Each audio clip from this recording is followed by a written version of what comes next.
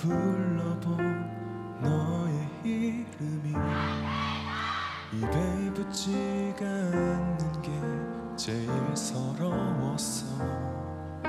소란스런 이별이 촌스러워서 덤덤한 척했던 거 난 가장 후회돼.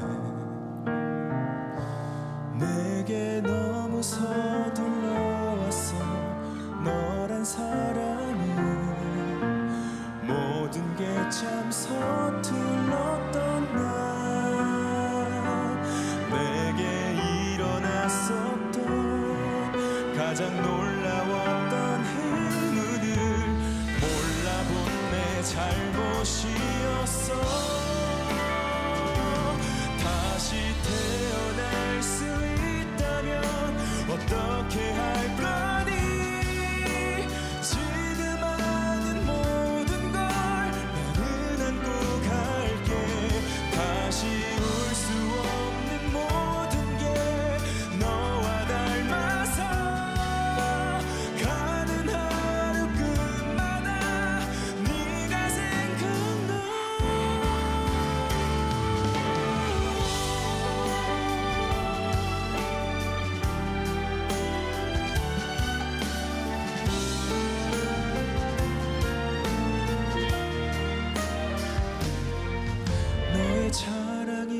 자랑이고 싶어서 조급했던 나.